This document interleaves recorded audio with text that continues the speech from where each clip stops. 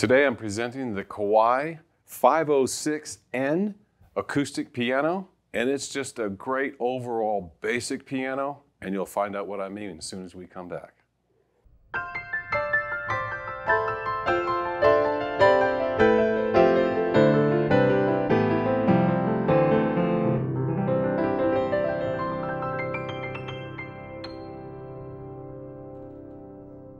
Ted Barcelou with Alamo Piano Galleries.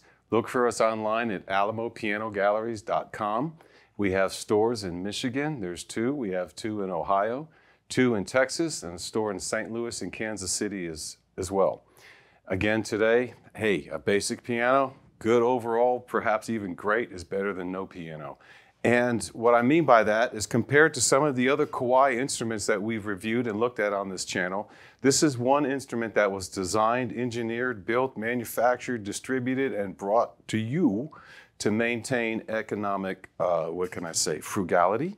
And uh, because of that, there's some things that are a little bit different about this piano, but at the same time, when you play it, it still plays like like a Kawai piano, and it still sounds like a Kawai piano. And I had mentioned that I, I, I didn't know if this is, I, am going to try to rephrase my, my initial assessment of this uh, 506 uh, N piano. I really do like them. They tune great. There's nothing funny with them. However, just based on my observation, it has that toe block design, which makes it look like really kind of corporate or institutional or social club. And this is the kind of piano that everyone plays on, everyone's aware of, but no one's really sure who owns one because it's the piano that's in the hall. It's the thing that's on the stage in your cafeteria at your school, your elementary. We had one. That, it, this is a basic piano. And when I meant basic piano, that's exactly what I meant.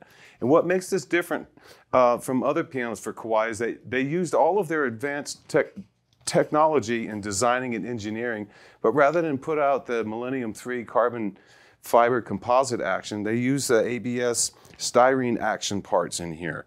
And they have a different kind of uh, uh, touch on their on their their keyboard. Uh, they have like a, a, phenol touch or something, a, a different kind of uh, topping that they use on, on, the key touch. It's still great. I didn't know it was really different than the Neotex until um, I'm, I'm reading it.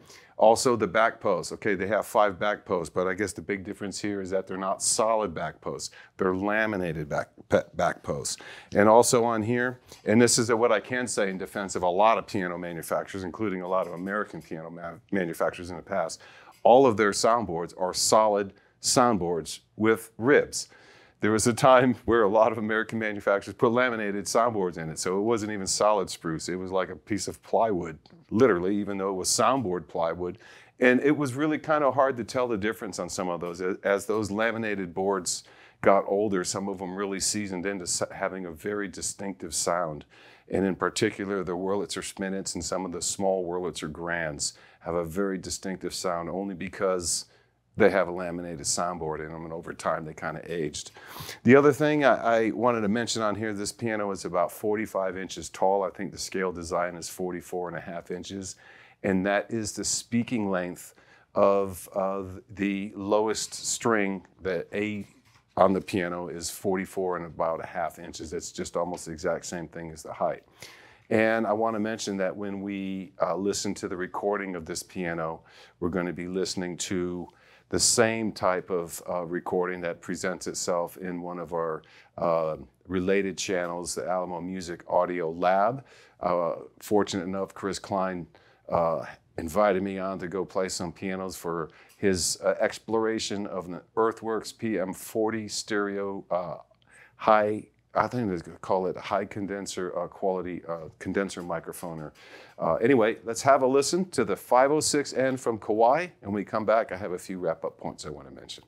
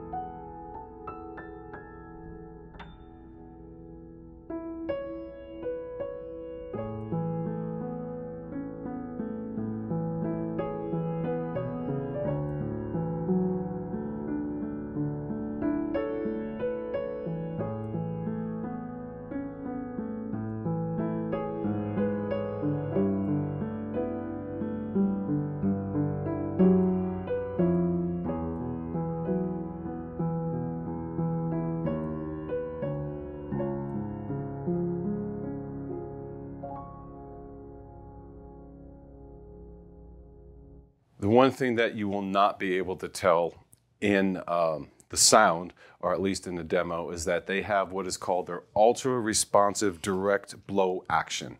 That is almost the sound of direct blow action is advertising from almost every major American upright manufacturer in the 50s and 60s and 70s. It was don't get a Spinet piano because it doesn't have direct blow. And all they're talking about is that this is where you press on the key here. Direct blow means the action is on top of the, uh, uh, the end of the key. It's on, it's on the whole key.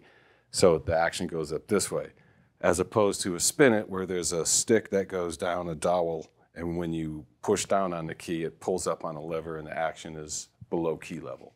So to my knowledge, I don't think anyone's manufacturing a Spinet piano in this day and age. So almost everything's going to be some type of direct blow, but that's their trademark name. Again, this has been a demonstration of the 506N Kawai piano, which is made uh, pretty much to contain the cost and deliver a really highly responsive piano that is an excellent instrument for any choir room, music room, even a living room. It doesn't have the most furniture appearing thing. That is the one thing. The look of it is a little bit different.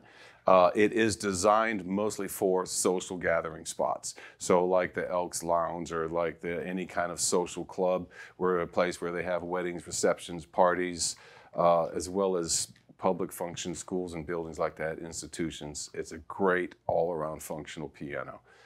This is Ted with Alamo Piano Galleries. If you haven't, please subscribe to our channel. Send me your questions and comments about this particular piano or any other kind of piano experience you have that think we may be able to help you with.